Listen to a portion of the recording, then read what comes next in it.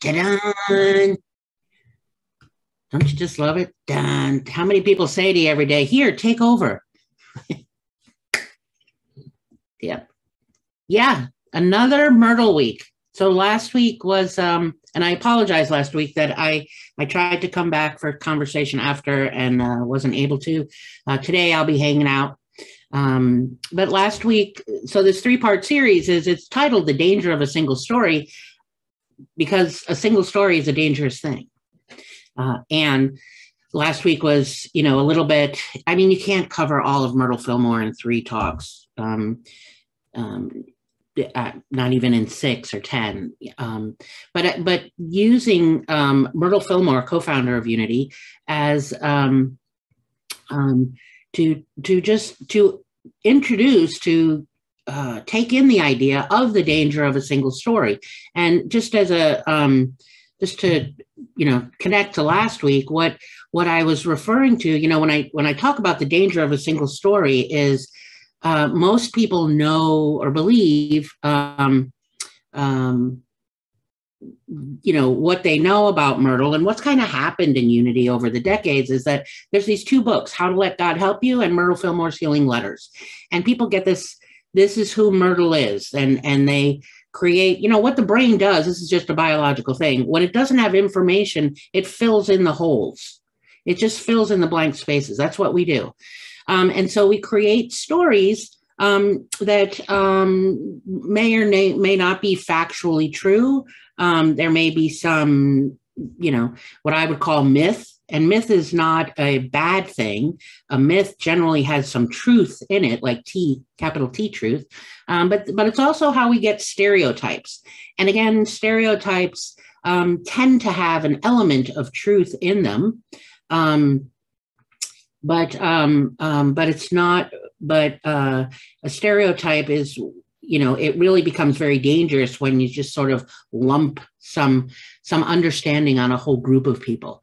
Um, and yet we do it all the time in our unconscious unexamined assumptions. So when when i talk about the danger of a single story i'm i'm really inviting us um, uh, into look at our unexamined unconscious assumptions and to you know we don't know what we don't know.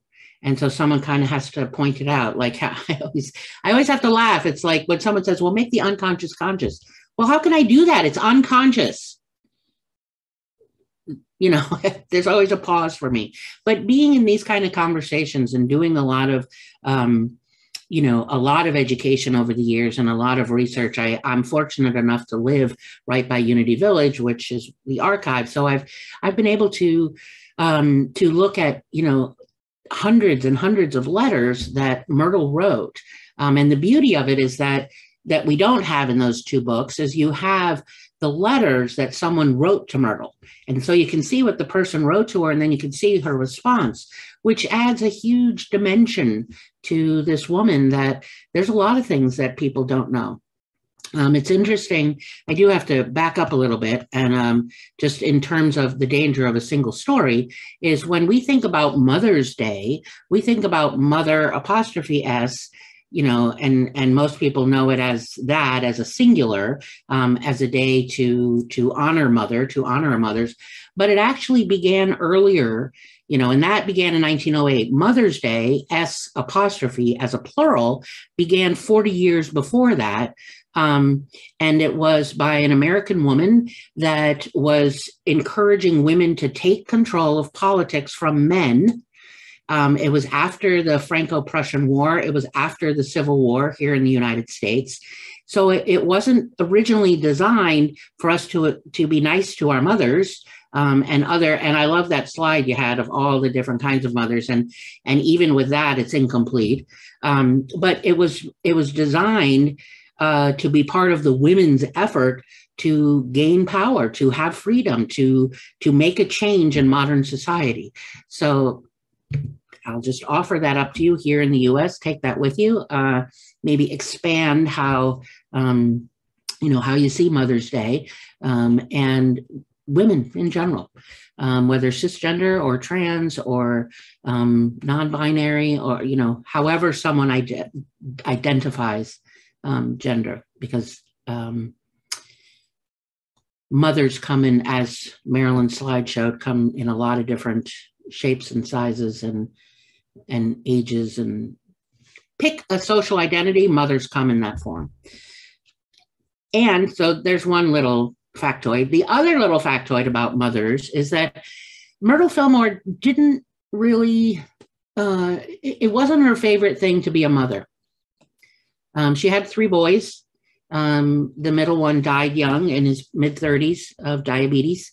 Uh, but it wasn't, she always, when you start looking at, at lots of um, you know the things that are in the archives and her own some of her own personal writings it's not that she didn't love her children but she wasn't really very doting or nurturing. She wasn't the at that time right if you think back to 100 years ago 120 130 years ago she really didn't fit the mold of cooking for the family you know she didn't she wasn't um, she just always worried about being a good mother. And that went through her whole life that she didn't, you know, she did eventually, um, you know, she made peace with it in a way, but it wasn't, but she also was just, you know, one of the things we hear, and I talked about this last week, we hear this story that Myrtle cured herself of tuberculosis in two years, which is one of those cultural myths. There's some elements of truth in it, um, but we don't actually know what she had because she she tells her own story in different ways. Um, but that's for me, that's not the hot issue, whether or not it was, it had to be tuberculosis and in two years. What we do know is that she had a lot of symptoms that were referred to as tubercular conditions that today we might call you know irritable bowel syndrome or arthritis or migraine headaches or you know panic disorder you know whatever. But she did and you know by engaging in the discipline of a spiritual practice and the healing and and you know i talked about this last week i think i did. Um you know it's one of those where what did i do yesterday? I think i did that yesterday. Did i say that last week? You know that was a sidebar sorry squirrel moment. Um so, uh, but since I'm talking about Myrtle Fillmore teacher, there's going to be squirrel moments because that's what teachers do, as far as I'm concerned. So, but I, but for me, the bigger picture around Myrtle Fillmore, from thousands of hours that I've spent with her, her writings and and lots of different things and things people wrote about her, was um, in terms of healing, was that there was you know a couple years of some solid discipline and practice and so a lot of these symptoms she had certainly you know, went by the wayside, but it wasn't everything went away in two years. There's other writings that she has that, so the worry thing, the anxiety thing actually shows up periodically once in a while. Um, but the, the, for me, the point really is the discipline, the practice, the engaging with principles and changing. Maybe this needs a little bit of shifting and changing, not starting here, do this and don't ever change it but rather because of the teacher in her, um, you know, what am I learning? What's what are the you know what are some of the outcomes of this, and what you know where where am I going with these teachings, and how how am I using them, and how are they impacting, and how am I engaging? Because she's very clear, it's body, mind, and spirit, right? It's it's our whole being that has to engage and that there's you know we do you know our prayer work very often is internal but there's the external. You have to be in action which i'm going to disagree with you marilyn. It's not silence. It's actually physical bodily movement action. That's being in action. Just sitting in the silence with something is not action. That's the um, the prayer part. She's very clear though that for healing, and this is where the teacher comes in, she when she equates healing to mathematical equations, I'm like, okay, this woman is a teacher. so um uh you know, she um she just uh you know, in any any opportunity she has, she's going to insert a little bit of knowledge, right? Or a lot. She's going to give her thoughts on something and she's going to um, excuse me try to put it in a context that makes sense for us. Um, and that's what she did with her own work. Um, that's what she did with her own um, her own healing story. Um, but it's so she and she literally was a teacher. She went to i think i mentioned this last week i'm sorry um, she went to a uh, Oberlin College, which uh, in Ohio, which was the first university to allow women um, to study, and she um, took the courses for women to be teachers. And then she, um, and then she, um, and she also did an enormous amount of reading, uh, you know, of her own. Uh, people often talk about Charles Fillmore, co-founder, you know, her husband, who did a lot of reading and a lot of study, but she did as well.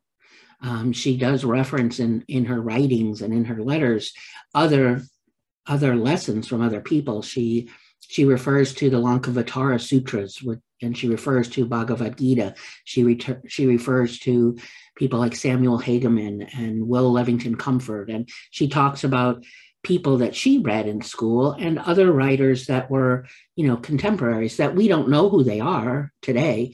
But if you start poking around, you you kind of you what emerges is this picture of people that were thinking the same way she was and doing the same practices. In fact, there's a one gentleman I mentioned, Samuel Hagaman, has a whole document that's called The Silence. Um, that that was written long before Charles and Myrtle started talking about the silence.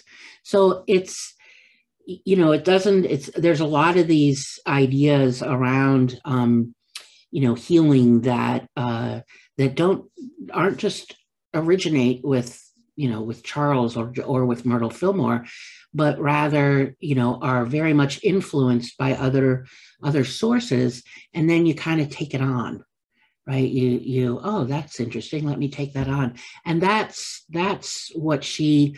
Um, uh, I think is one of the things that so yes there's this physical healing that goes on for her and I think her in terms of the teacher um, she's there's this two there's almost this paradoxical thing about being a teacher is one she's going to impart information like her own thoughts her own um, process her own um, experience right?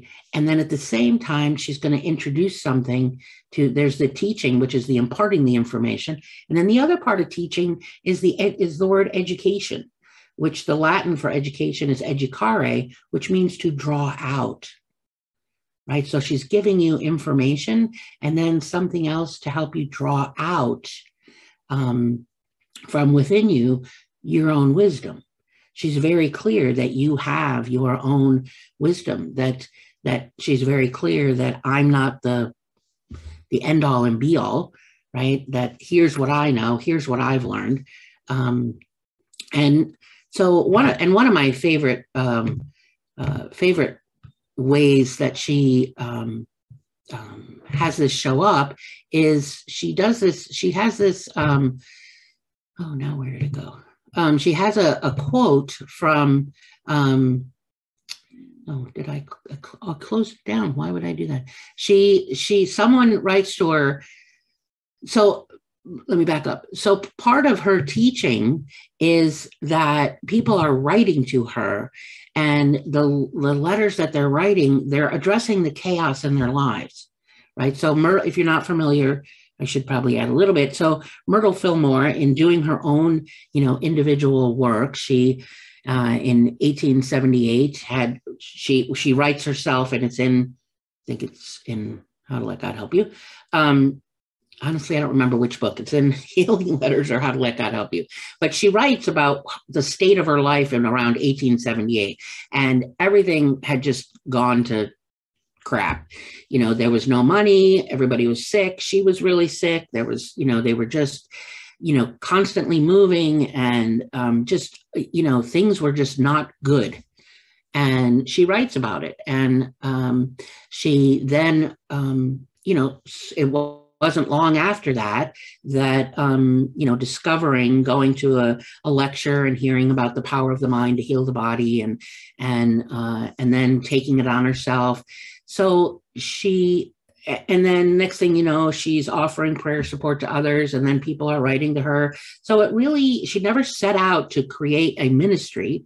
Um, she was sharing she was teaching right? She went to Oberlin College to be a teacher, certified teacher. Then she goes to and is in, you know, one room schoolhouse kind of settings in Texas, here in the USA, in Missouri, in Colorado.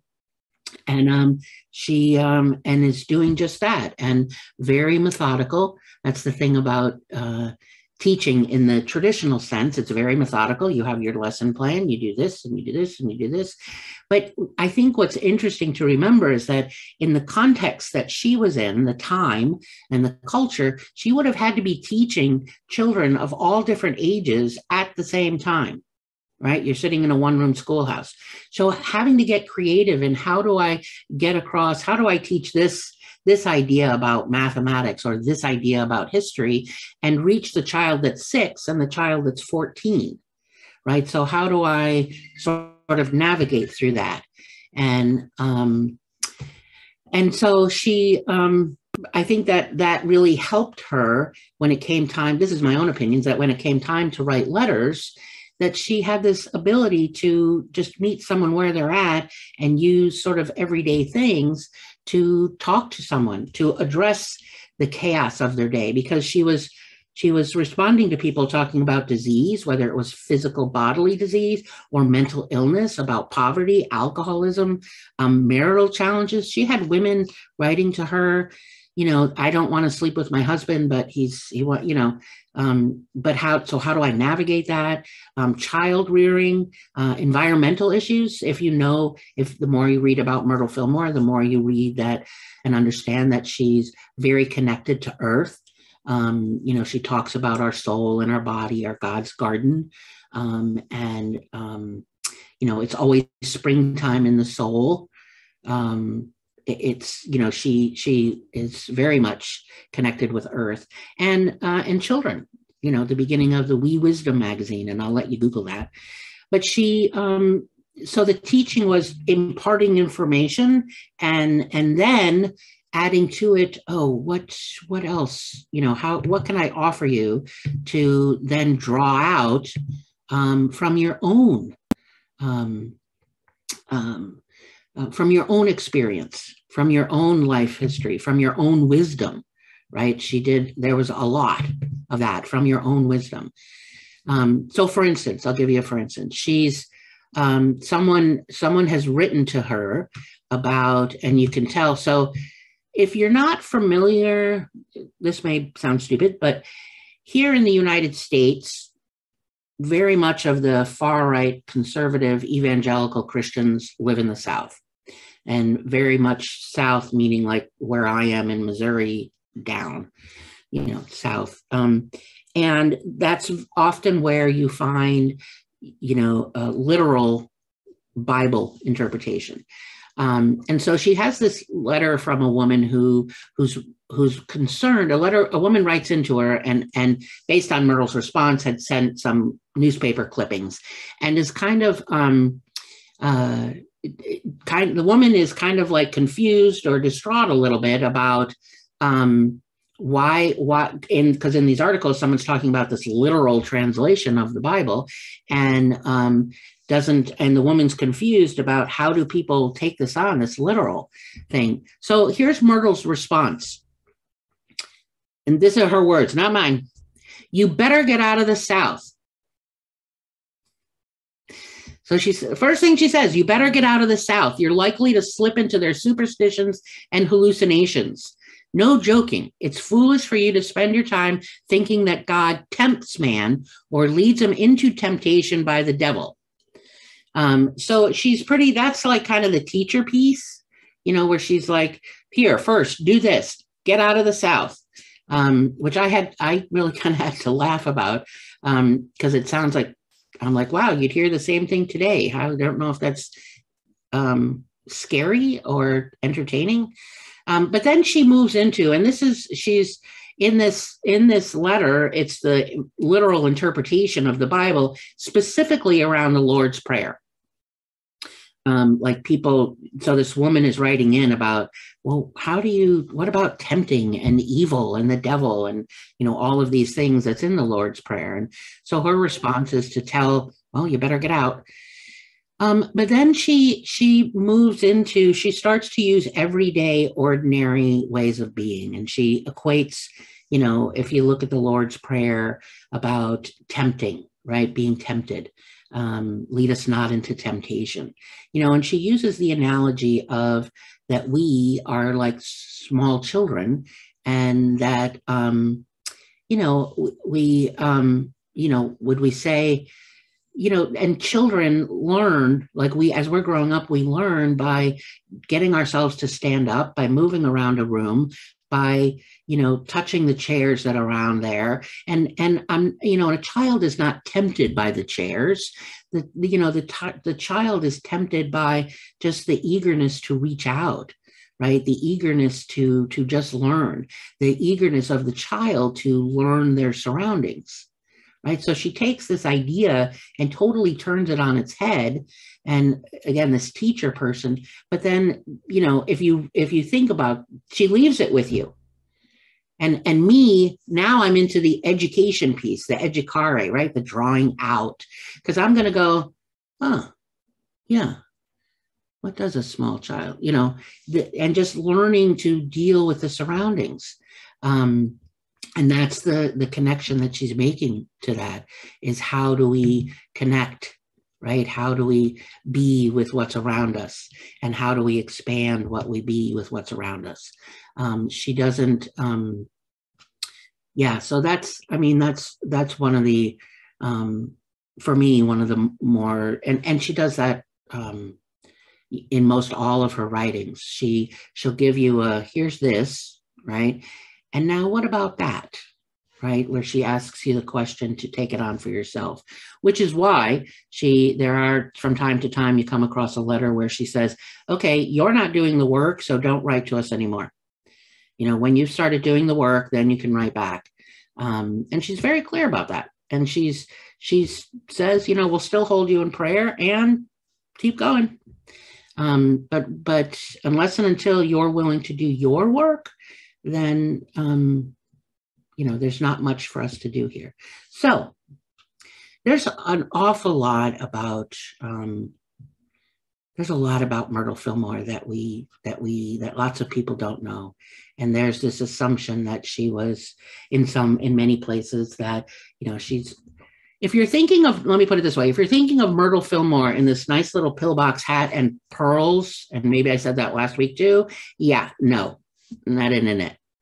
Um, she was very, um, you know, in many ways direct in her communication, but there was also this, and this is, I think, what's what makes her such a brilliant teacher for us, um, and why it becomes this dangerous single story to think of her as well. She wrote letters about prayer and just prayer and just healing. No, it was much more than that. It was much more than that.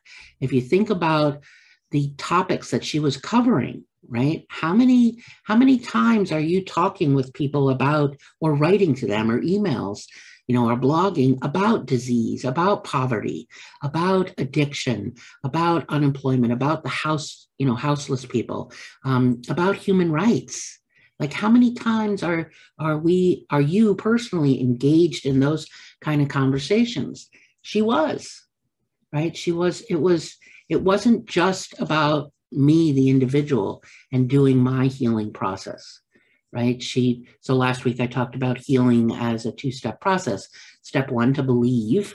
So am I believing in process or am I believing in the outcome? And my answer is yes. Depends where I am in the moment, right? What am I doing? And then step two was to be open and receptive to the healing stream of life. And this is Myrtle's two step thing. Um, and to be open and receptive to the healing stream of life is for me the healing stream of life is everything right? Just like the child getting comfortable with their surroundings we do that too. How do i get comfortable with my surroundings? All around me outside inside are these you know these these human condition issues that I may personally be engaged in, you know, houselessness or, um, you know, addiction or unemployment, um, but also everyone around me, right? So, how am I being in action to alleviate that suffering, right? So, being open and receptive to the healing stream of life is, for me, all of life, and where where's the healing stream in that? like it's there i have to just find it and the healing stream of life for me is how do i engage in that stream of life to alleviate suffering.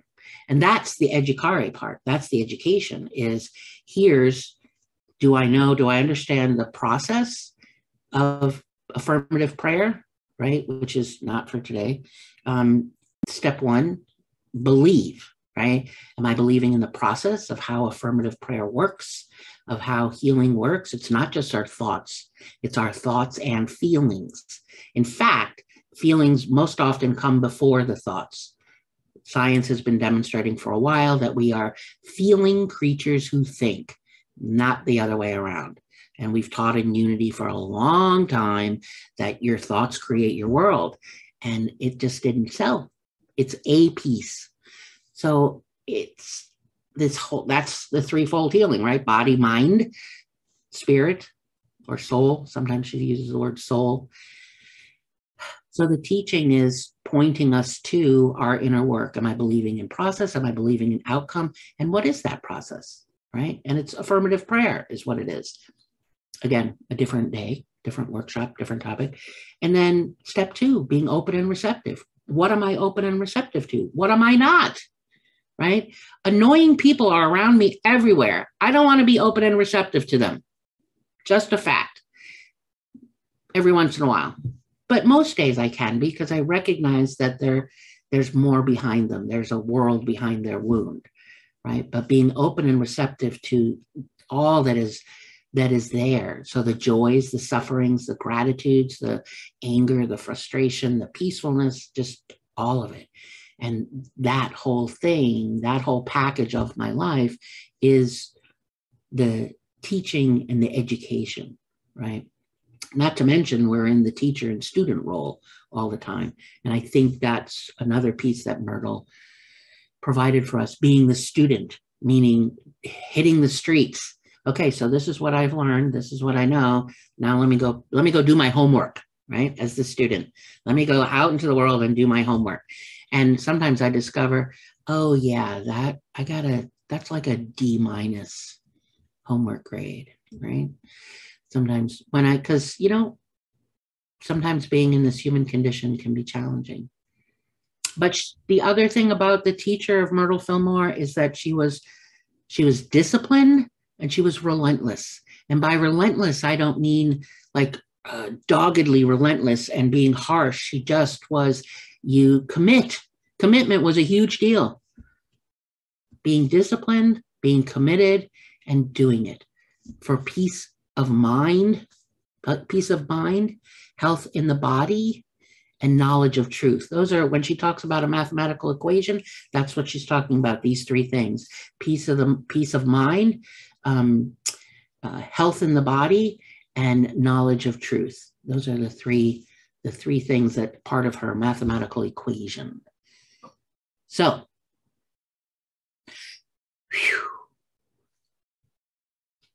Hopefully got a little bit more about Myrtle. And she didn't always get it right. Just saying.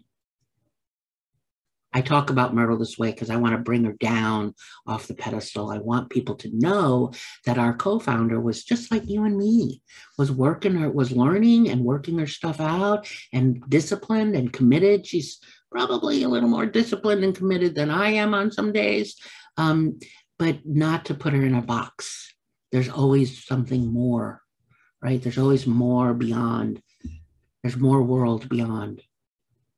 So I want to take the idea um, of this story, right? We hear the word story and it's gotten a bad rap at times, like, oh, there she is in her story again. Ah, oh, I've heard that story 85 times. Go to the therapist. I can't hear it anymore. You know, like the word story just gets a, a bad rap. Um, but I want us to know one, the danger of a single story, assuming I know all the pieces, but also the power of story, because each one of us is a story, right? It like a molecule that makes up the story of all humanity, of all life. So, how I make sense of my story, how I make sense of your story, um, is necessary for what we would like our world to be. Um, so I can either be part of the immune system of the world or I can be part of the disease of the world. We get to choose. So I want to take that idea of story and let's take that into meditation. And if you're comfortable, you can close your outer eyes or you can just lower your gaze.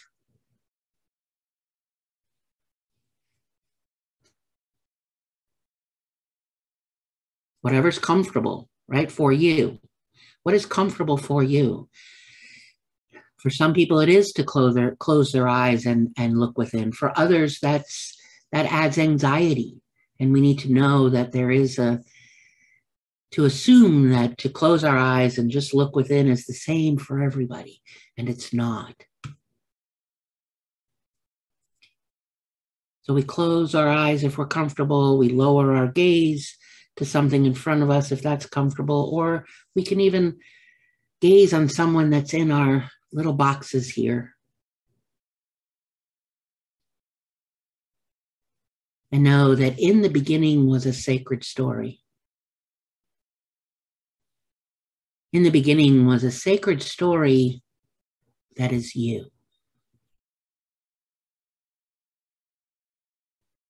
In the beginning was a sacred story that is you, that is fully human and fully divine.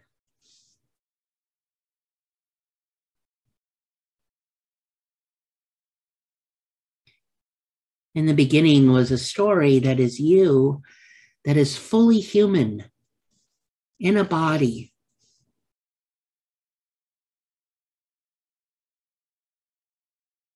In a body that breathes, that has a heart, that can think, that has emotions, that experiences the world through taste and touch through sight, through sound, through aromas.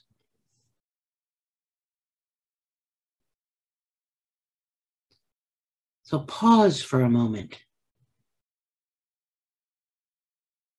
Pause for a moment and acknowledge the fullness of your humanity.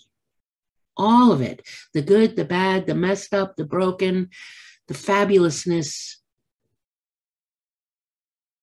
messed up. The awe, the wonder, the unique, unrepeatable configuration that is you. In the beginning was a sacred story that it is you.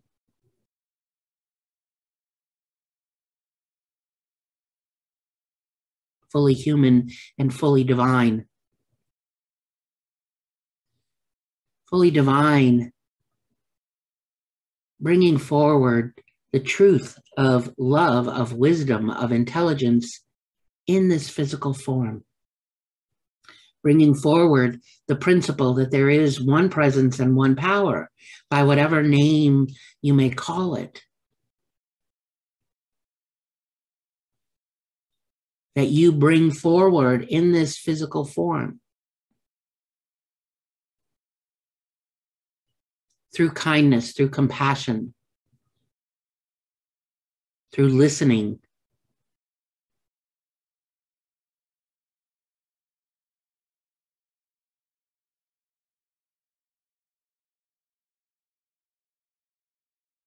Through caring, through silliness.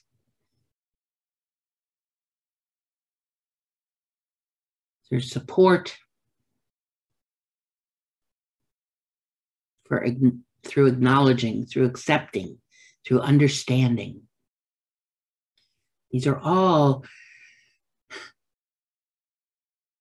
expressions, limited expressions of that infinite one presence and one power. That is, we need our bodies, our minds, our spirits to bring forward. That is how we know the one presence and one power.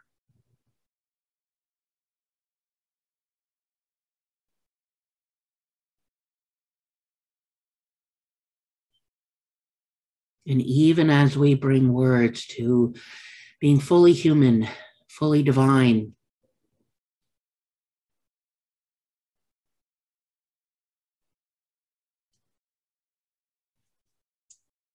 take a moment and reflect on who you are beyond the stories you tell of yourself.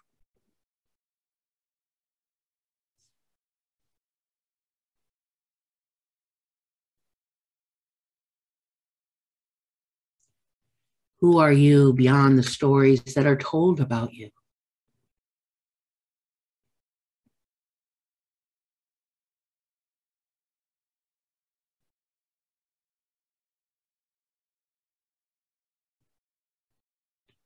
Who are you beyond the temporality of your body?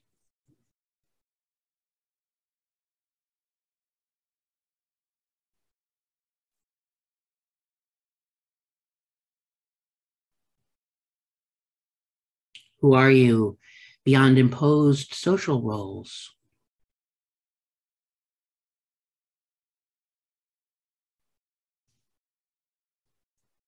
Who are you beyond your ancestral bloodlines?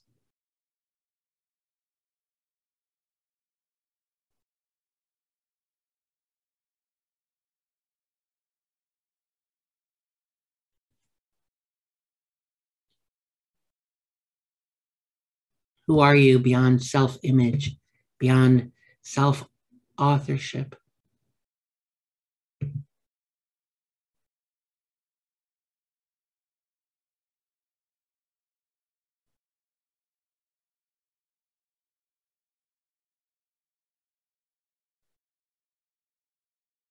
Who are you beyond right this moment?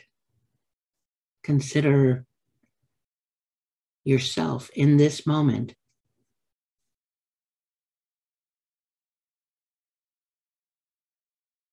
How you came to this place in this time right now.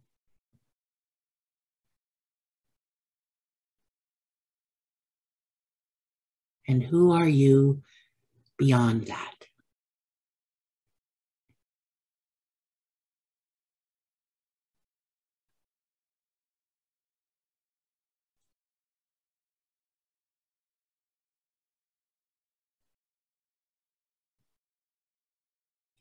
So take a moment in the quiet and just be with who are you beyond right now.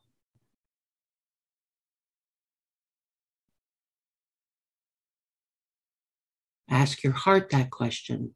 Be still with it. And then when you are ready, focus your attention on the faces you see online.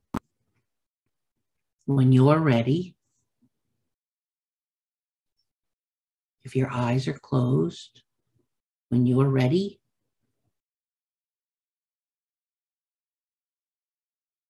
gently open and find a face to gaze upon.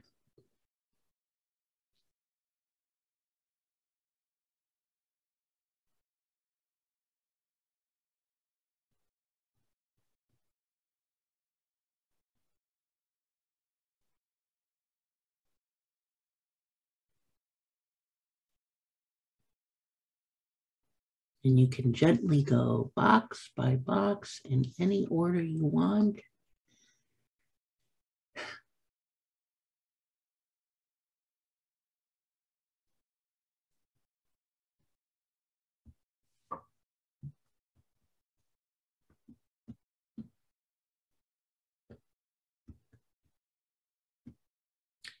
Remembering that there is a world behind the eyes that you see.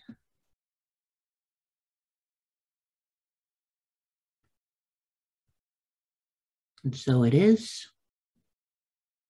And so it is. Amen.